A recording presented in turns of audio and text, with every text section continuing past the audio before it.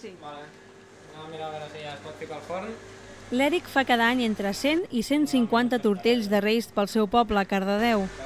Per aquestes dates ja té la recepta preparada per començar aquesta llarga cadena de brioixos que l'ocupa durant la vigília i el mateix dia de Reis. Les instruccions demanen començar tallant en porcions la massa, porcions que després s'estiren per farcir-les.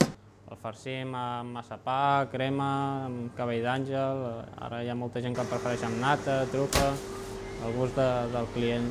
Eh, Bueno, el típic, s'hi fica la fava, el rei, eh, llavors s'hi fica amb la corona. La tradició que el que li toca la fava és el que li toca pagar. Una vegada se li dona forma de tortell i s'hi fan quatre talls a la massa, s'hi afegeix la fruita confitada. El forn, però, haurà d'esperar. Tenim aquí, que ja el tindrem fermentat.